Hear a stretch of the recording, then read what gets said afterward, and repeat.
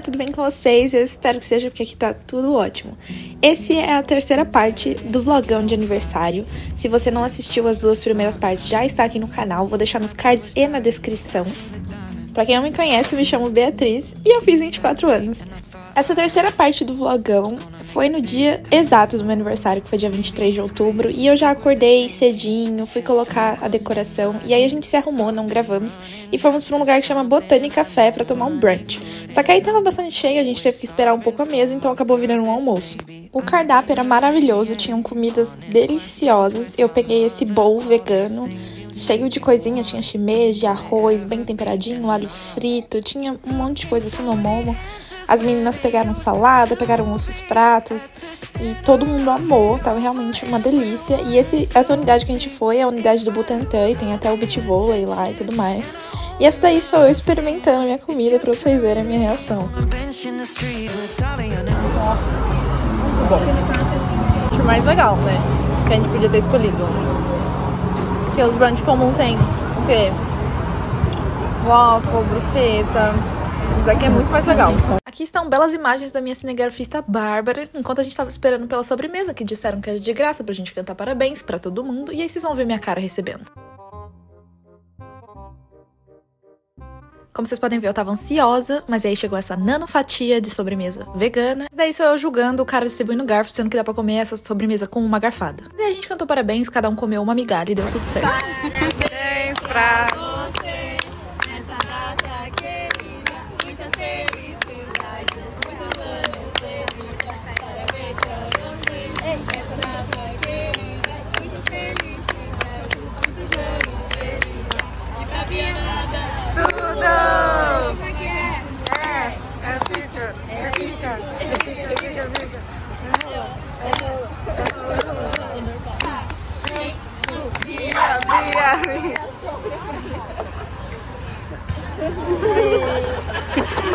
Parabéns!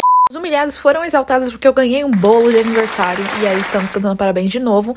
Não, eu não errei minha idade. Eu tô fazendo 24 anos, mas eu queria fazer uma gracinha pro TikTok, trocar a vela do 23 pro 24. Então cantamos parabéns com 23 mesmo. Parabéns pra você nessa data querida.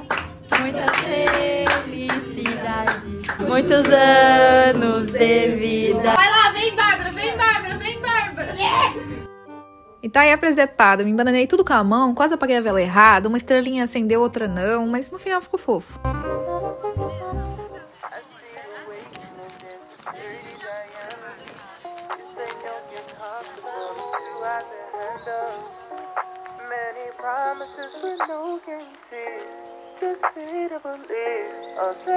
E aqui tá um compilado meu fazendo corno job de fazer os 24 pedidos, cortar o primeiro pedaço, que a proposta foi para mim, porque eu mereço, e depois cortar o pedaço para todo mundo, e o bolo tava uma delícia. Depois a gente decidiu subir no rooftop, que tinha essa piscina aí, e curtir o fim da tarde fazendo umas brincadeiras, conversando, papeando, fofocando. E aí tava ficando frio, a gente desceu de volta pro quarto, tava quase dando horário de ir no Farol Santander, mas a gente descobriu uma brincadeira jogar bexiga. Agora eu entendo as crianças, porque a gente ficou muito tempo. E aí todo mundo tava hipopotizado com essa bexiga. E a gente ficou muito tempo dando a vida pela bexiga.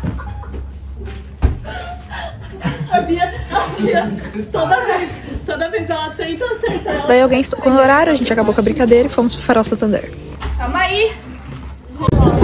Chegou a hora do farol, pessoal. Estamos chegando aqui.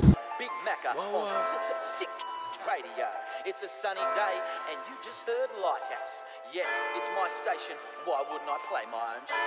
But now we're gonna take you on a trip down memory lane. Assim como a gente fez com a Pinacoteca para ir no Farol Santander, a gente fez a reserva antes, comprando um ingresso para 5 e meia da tarde, que a gente imaginou que fosse pôr do sol, ia ser muito bonito de ver, mas vocês vão ver que não foi bem assim.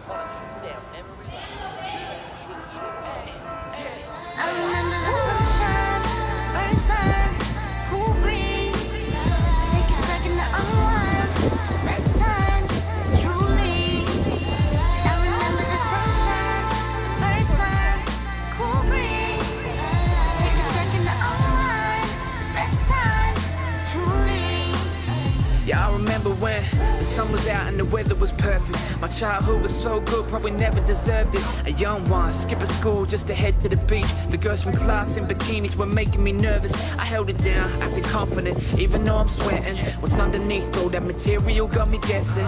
Hoping that my skinny body was impressing. Do I play it cool or do I come at it all aggressive? Depois que fomos no Mirante, vimos aquele belíssimo pôr do sol nas nuvens. A gente começou o nosso pequeno tourzinho. Lá no último andar, que é o Mirante, tem esse cafezinho super fofo. A gente até subiu no mezanino para ver como que tava, como é que era, mas a gente não ficou ali não. A gente começou o passeio de cima para baixo e aí em cada andar tinha uma exposição ou alguma coisa diferente. E aí eu não sabia que ia ter isso, eu achei super legal. Pra quem já visitou esses lugares deve estar me achando super redundante, mas é que eu nasci em São Bernardo, vivi indo para São Paulo, mas eu nunca fiz esses passeios manjados culturais, então foi bem legal fazer. E olha que legal, em cada virada de lance de escada tinha um cenário diferente de ilusão ótica. E a primeira exposição que a gente parou foi essa de fotos tiradas por vagalumes. Ali é o processo criativo dele. E esse de, dessa cor também foi? Esse daqui é o negativo que é gerado. Ele Ah. coloca os vagalumes aqui na caixa de luz com papel fotográfico e cerca de 15 a 30 vagalumes. O que eu entendi é que tem um papel fotossensível e aí toda vez que os vagalumes acendem, ele marca. Então fica essas coisas bem abstratas. E conforme você movimenta, você gera luz.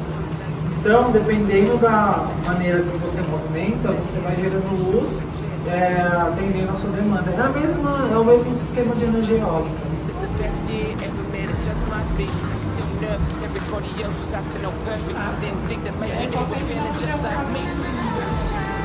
Agora eu lá dentro. Vamos.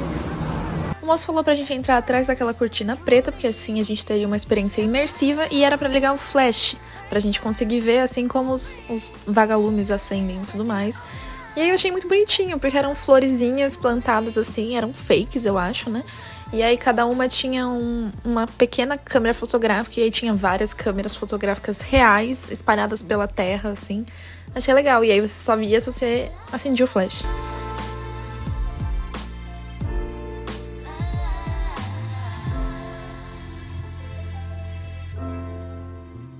Tá aí mais uma experiência de ilusão ótica num lance de escada e a gente entrou na outra exposição, que era essa de imagem expandida. Essa eu achei bem legal, porque o artista construiu duas imagens em uma só. Então, de um lado você via uma imagem e aí você andava pro lado oposto e aí você via outra coisa.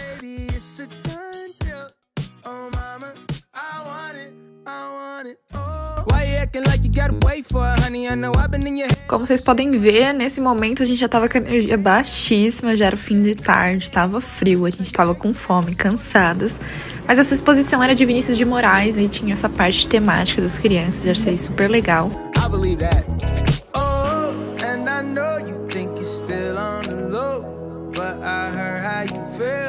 everybody you know. Oh, just trying to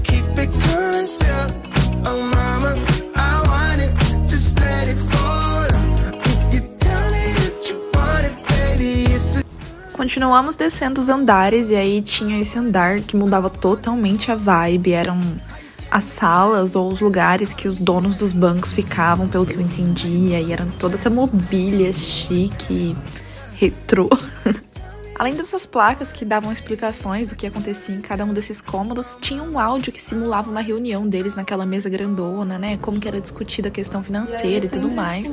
Foi bem legal, a gente passou por alguns dos andares que tratavam dessa história, né? Que mostravam como era na época, né? Que contam um pouco de história. E a gente chegou nessa exposição aí que eu adorei, que é uma exposição de obras feitas. É uma imagem, né? Uma fotografia, mas feita com objetos reais, assim. É como se o artista tivesse colocado num, num fundo nessas imagens de São Paulo. E cada um desses elementos, aqui eu esqueci de filmar de perto, mas ca- cada um desses elementos é uma peça, é alguma coisa, uma ferramenta. E é super interessante, porque quando você olha de longe você só vê a cidade, mas de perto você vê que são coisas nada a ver. E eu adorei isso.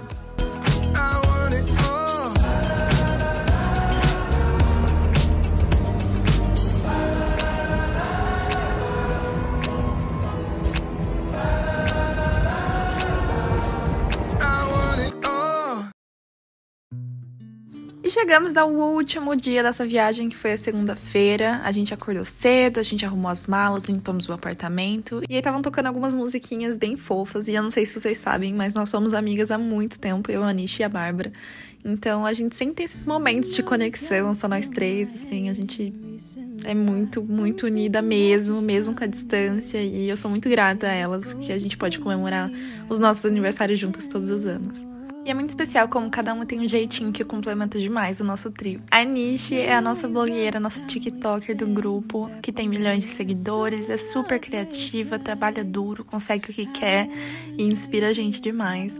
A Bárbara é essa pessoa da estética perfeita, super artística, que sabe muita coisa sobre assuntos diferentes e sempre mantém a gente informada. E eu sou a pessoa que fala mais que a boca, que coloca a gente enrascada. E elas me aguentam. É isso. Então, sou muito grata a elas. E eu fico até emocionada de falar sobre isso. Então, queria deixar um beijo para elas quando elas assistirem esse vídeo. Pessoal, chegamos ao fim desse vlog. Já é segunda-feira, a gente já tá indo embora. Eu não gravei mais ontem porque eu tava emocionadas. eu gostei muito do final de semana com vocês, mais um ano. Pra quem não assistiu o vlog do aniversário do ano passado, tá aí na descrição do vídeo, nos cards também. E se inscreva no canal, deixe seu comentário, deixa um like, nos siga nas redes sociais. E é isso, um beijinho e até o próximo vídeo. Tchau! Ô, gente, eu não queria deixar as flores que elas me deram aqui, não. Eu gostei tanto, tanto. Mas não tem como a gente levar, porque a gente tá com mala e tal. Não tem como. Tô triste. Foi muito linda, muito queridas. Elas estão tão belas aqui. Even when I'm sleeping, I'll be dreaming about you. I miss the sunny smile you've placed on my face. Sometimes I think meeting you was a mistake.